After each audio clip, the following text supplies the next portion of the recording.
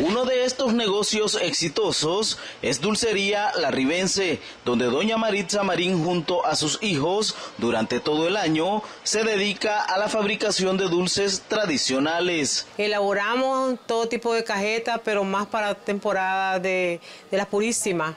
Se hace el gofio, se hace el pan de rosa, se hace huevo chimbo, piñonate de papaya, cajetas de leche, cajetas de coco con tamarindo, cajeta rosada, cajeta verde.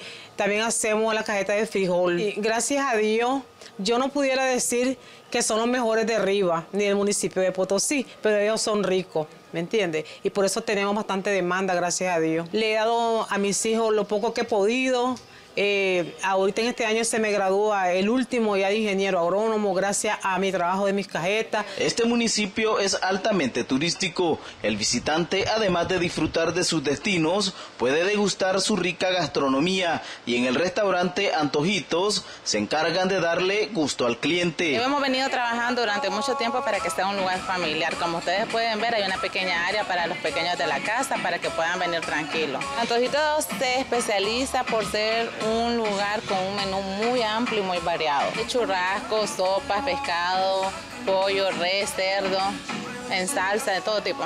¿Las bebidas? ¿Qué tipo de bebidas son las que ofrece? ¿Cócteles? Tenemos cócteles, tenemos piña colada, michelada. Estos negocios están ubicados en el casco urbano de Potosí, un municipio que se caracteriza por ser uno de los más productivos de esta zona del país.